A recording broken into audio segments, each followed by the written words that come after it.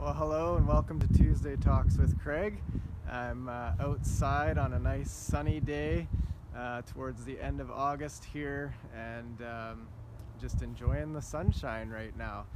Uh, I want to talk a little bit about light and um, the fact that in summertime we get to enjoy the, the light of the sun the warmth of the sun. I know uh, my girls have been enjoying just being outside tanning in the sun this summer.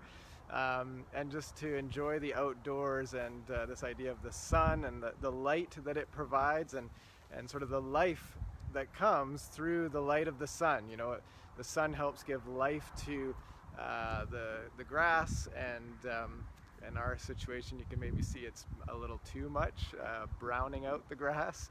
Um, but the light of the sun uh, helps bring life. And also in the summertime, um, at night, you can see some pretty amazing lights as well. A couple of weeks ago, there was a, a meteor shower uh, a week or two uh, ago. And uh, Tammy dragged me out really late one night. I was a little bit grouchy about it, but uh, after going out to, to look, it was pretty fun. Uh, we watched this meteor shower and in the span of uh, probably 45 minutes or an hour or so uh, just saw these amazing lights you know floating across the sky. And uh, and you know they weren't huge um, but some pretty cool uh, displays of light. And while we were waiting for the meteors uh, to go passing through the sky, um, you could just see all the stars, all the constellations, and all the so the, the night lights lighting up the sky and the contrast between the darkness at night and the lights that, uh, that shine in the midst of the darkness. So I want to just kind of think about this idea of light and uh, talk about Jesus a little bit and this fact that Jesus came as the light to the world, the true light uh, that gives life to everyone. So, John chapter 1 talks about Jesus coming into this world uh, as the light. And let me just read uh, I think it's verse 4 and 5. It says, In him, in Jesus, was life, and that life was the light of all mankind. The light shines in the darkness, and the darkness has not overcome it. Jesus is described in many ways in the book of John. You know, he's described as the bread of life, he's described as uh, the way, the truth, and the, the life. He's uh, described as living water. Um, and in John chapter 1, Jesus is described as the light, uh, the light of the world that came into the darkness, and uh, it sh- he shines in the darkness, and the darkness has not overcome his light.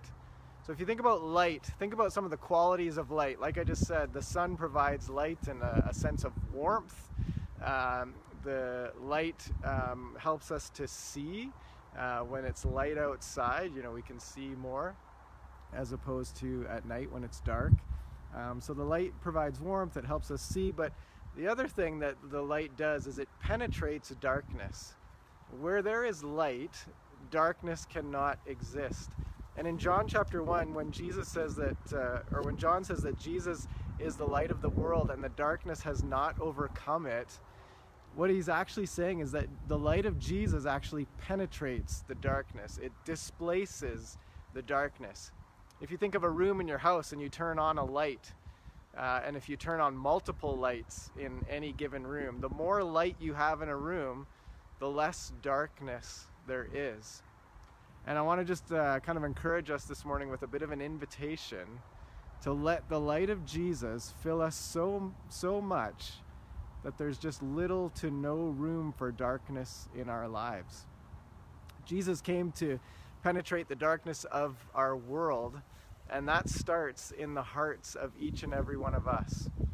In each and every one of us, we battle the darkness, and there's different forms of darkness in our lives. And darkness might take the form of fear, darkness might take the form of uh, bitterness, darkness might take the form of hate or greed or envy. You know, darkness can take on many different forms. And I want you to sort of ask the question of yourself, where is where might there be darkness in my life? And what might that darkness, what what form is that darkness taking? Like I said, is there fear? Is there bitterness? Is there greed? Is there envy? Is there hatred? Is there unforgiveness? Maybe somebody who's hurt you and, and you're holding that over them, that, that bitterness and unforgiveness um, can take root and create darkness in our lives. What kind of darkness might exist in your life? And then ask the question if you were to let the light of Jesus fill you, how could he displace that darkness? How could he penetrate that darkness? How could he transform the darkness of your life? Because I believe that Jesus can do that. He wants to do that. For example, if, if fear is a form of darkness in your life, Jesus wants to fill you with his peace. If hatred or uh, bitterness is a form of darkness in your life, Jesus wants to fill you with love and compassion. If unforgiveness is a form of darkness in your life, Jesus wants to fill you uh, with forgiveness, the ability to forgive those who've hurt you, that you're holding it over them. The light of Jesus wants to penetrate, He wants to penetrate our lives. He wants to transform us. He wants to drive out the darkness of our lives so that we can become more like Him. Again, that uh, passage in John says that uh, in Jesus was life. And the life of Jesus is the light of all mankind. Light shines in the darkness, and the darkness has not overcome it. Jesus wants to fill you with his overflowing, abundant life. John chapter 10 say, says that Jesus came to give us life and give it to the full. And the fullness of life in him is a, a, a life that's full of the light of Jesus, penetrating the darkness, changing us and transforming us to be more and more like him but also to enjoy the fullness of life that He desires for us. So I want to encourage you to, to look to the light. Just like Tammy and I a couple of weeks ago went out and looked up in the sky and, and waited for that meteor shower and looked for those, those passing uh, lights in the sky. We were focused, we were intent, we wanted to see the light.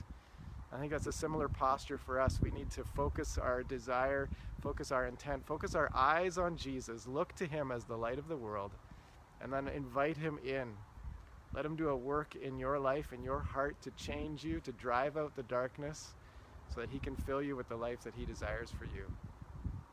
We're living in uh, interesting days these days, and there's lots going on in our lives, lots of different circumstances and decisions and, and things that we're facing. And we are in a battle between light and darkness. So look to Jesus, the true light. Let him penetrate your life and transform you into the, the child of God that he desires you to be. I'm praying for you today and uh, hope to see you again next week for our next Tuesday talk. Blessings on you.